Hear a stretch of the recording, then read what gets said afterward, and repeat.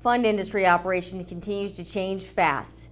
That's the finding of a recent research collaboration that you and Accenture did.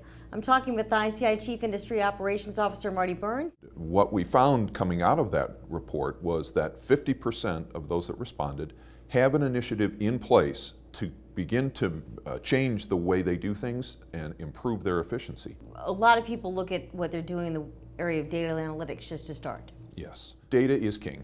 In operations in particular, data is become a key for making changes in building out the structure. Data drives the use of artificial intelligence tools, and those tools are really used to create a better platform for customer service, for data security, for trading and the analytics and compliance around trading. Another interesting piece to that was that we had about 40 to 50% of the respondents say that they have RPA or robotics in place now.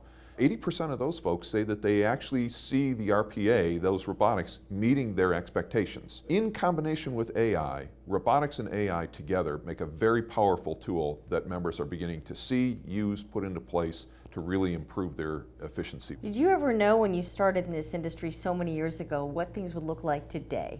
When I started in this industry, we still did trades on paper and delivered them in envelopes. And it would have been the farthest thing from anybody's mind that we would be to the point now where the tools and the automation is become so pervasive in the industry and provides the power to really move the industry forward to ultimately create the best solutions and the best benefits for our investors.